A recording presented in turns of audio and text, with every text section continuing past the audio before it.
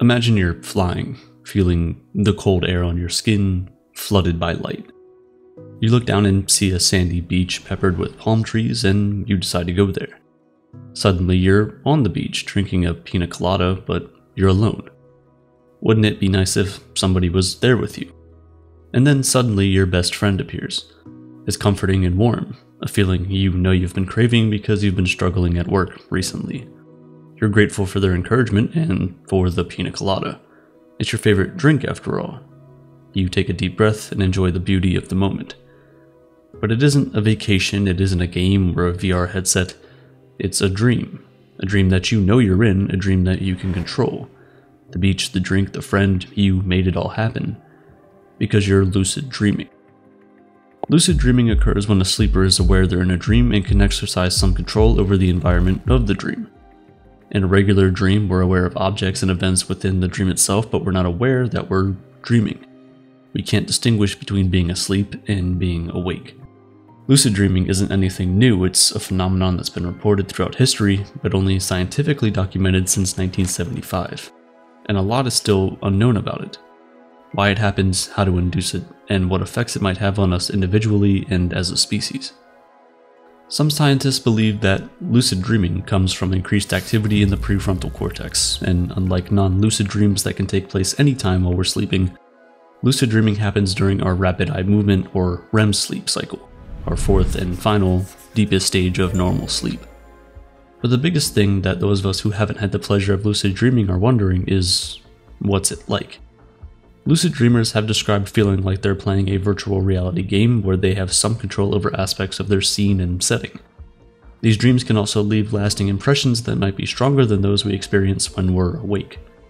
Most of us have had the experience of waking up from a dream, even one we can't fully remember, and feeling somehow changed from it. With lucid dreaming, that change or impact we might feel is much more visceral.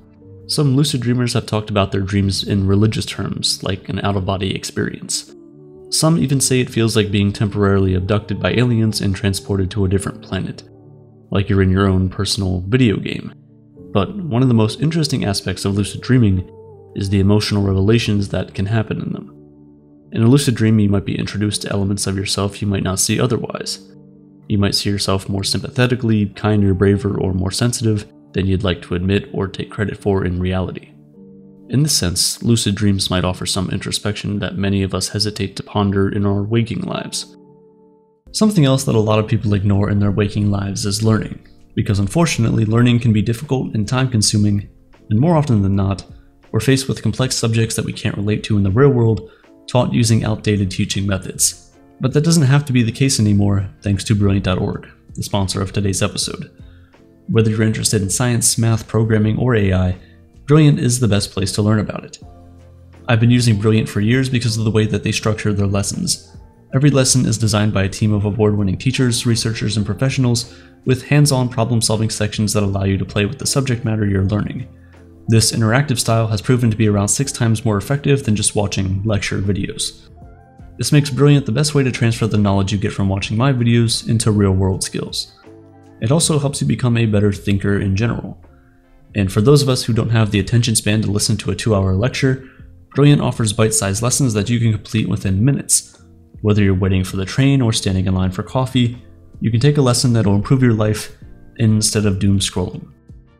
I recently took Brilliant's How LLMs Work, and it helped me to understand how large language models like ChatGPT and Google's Gemini work. To try this course and all the other thousands of lessons Brilliant offers for free for 30 days, go to brilliant.org slash aperture or click the link in the description, which also gives you a 20% discount on an annual premium subscription. Back to our story.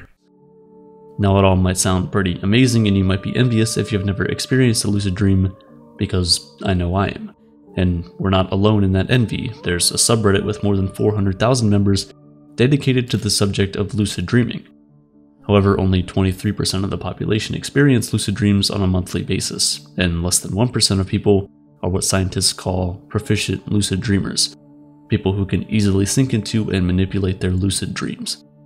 But the good news is that a majority of adults, 55%, claim to have experienced at least one lucid dream in their lifetime. So if you haven't had one yet, the odds are in your favor. And if you want to up the odds, here are some things you can do to pave the way to your lucid dream journey. First is to optimize your bedroom for sleeping. Good sleep hygiene is key to lucid dreams. 65 degrees Fahrenheit or 18 degrees Celsius is considered the ideal sleep temperature, and it's important to keep your room relatively quiet and dark. Invest in some blackout curtains, sleep masks, or other accessories to reduce light, and consider using earplugs or a sound machine to block out disruptive noise. Another critical element to lucid dreaming is what researchers call reality testing. This consists of checking in with your environment and confirming whether you're asleep or awake. We all know that our dream environments can look familiar to our waking reality, but there's always some minor inconsistencies compared to reality. Performing these reality checks while we're awake can give us the skills to determine when we're in a dream. Reality testing is specifically helpful when something odd happens in your waking life. If you see a strange animal cross the street in front of your car, take a moment. Think about the fact that you're awake and that the animal is real and that this odd moment is happening in your life.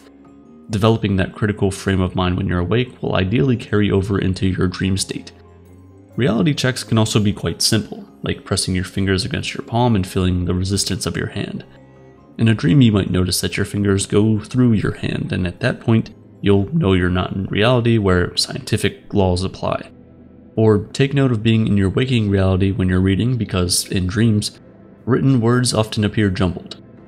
It can also be helpful to wake yourself up after 5 hours of sleeping and simply tell yourself to remember you're dreaming when you go back to sleep. Research has found that this technique is most effective if you can stay awake for 30 to 120 minutes before sleeping again.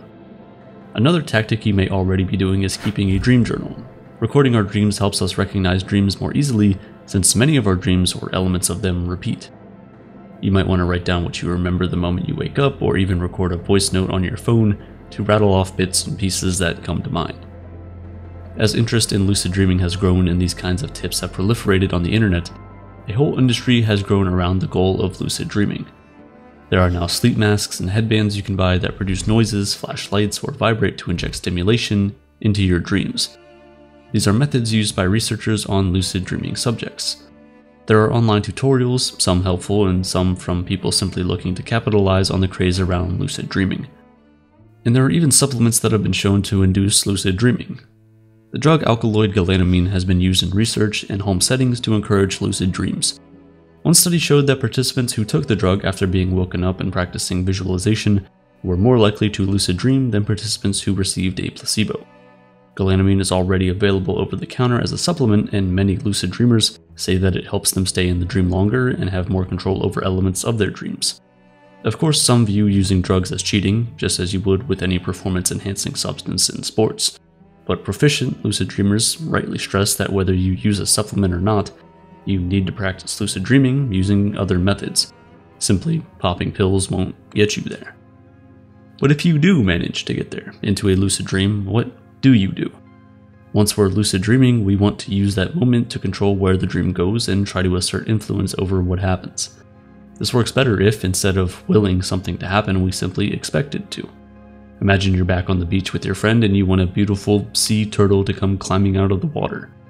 Instead of insisting that the turtle will show up, expect it to be there. Once you do, a sea turtle or something close to it will probably appear. That expectancy effect can help things appear in our dreams. If we say, I'll find the dog behind the couch, when we look behind the couch, the dog will be there. Experienced lucid dreamers can also open doors in their dreams and envision what they want to be on the other side of the door. Perhaps you can open a door and transport yourself from the sunny beach into the middle of outer space. Most of what we know about lucid dreams comes from the early stages of research into the topic and from those who can have the dreams. We still don't have a great understanding of the neural underpinnings of lucid dreams or the brain processes that make them happen, and at this point we don't have a reliable way to induce them. But even with so much unknown, we do know that there are benefits to lucid dreaming. At the very least, a lucid dream can act as a sort of wish fulfillment, taking us to places or putting us in situations we've always wished we could experience. Lucid dreaming can also help us shed the stress of daily life. It's been clinically shown to be a potential treatment for pervasive nightmares, and data shows that lucid dreaming can foster creativity. Even athletes will employ lucid dreams to work on and refine motor skills. Most of all, lucid dreams allow us to interact and explore parts of our unconscious that we can't when we're in our regular dreams or even while we're awake. Of course, this level of awareness in our unconscious state can present its own problems. Skeptics worry that lucid dreaming can have a negative impact on mental health not only because it can disturb sleep, but also because it can blur the lines between reality and fantasy. Remember the reality testing tactic to induce lucid dreams. While it might help some distinguish between waking and dreaming, it might also make others question whether they're awake or asleep. This would be disorienting. It could lead to a feeling of dissociation where they feel disconnected from their thoughts, feelings, and sense of identity. Still, the curiosity around lucid dreaming is impossible to resist, and not just for you or me, but for researchers. In an effort to answer the question of what exactly is happening when we have lucid dreams and how to better understand how to trigger them, researchers have invited proficient lucid dreamers into their labs. Once the participants are asleep, researchers measure activity levels in the prefrontal cortex and other areas. The participants are told to use left and right eye movement once they're in a lucid dream and aware that they're dreaming. This way, researchers can see what brain activity is happening in the brain at that very moment. Studies also tell us that the events we experience in our dreams produce effects on our brains that are similar to what would happen if we experience them during our waking hours, and if that's true, then it would mean that dreaming of doing something is the equivalent of actually doing it. That might be a stretch if we're talking about like going to Mars or breathing underwater, but if it's a meaningful conversation with someone or tasting a new delicious food, maybe we could take the feeling and carry it with us into our reality. Because lucid dreaming might not just be about experiencing our dreams differently, it might be the key to understanding our own consciousness. English aristocrat and writer Mary Arnold-Forster wrote one of the earliest and most detailed descriptions of lucid dreaming in her book Studies in Dreams. She described her attempts to fly, and she proposed that humans have dual consciousness. One is our primary self, which analyzes our circumstances and applies logic to our experiences. For most of us, this consciousness is typically enacted during sleep but according to Forster, this primary self wakes up in lucid dreams and brings memories, knowledge, and reasoning from our waking life, along with the awareness that we're asleep.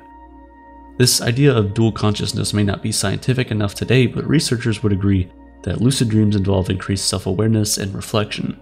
They give us the ability to think more deeply about our lives because we get to actively live outside of them.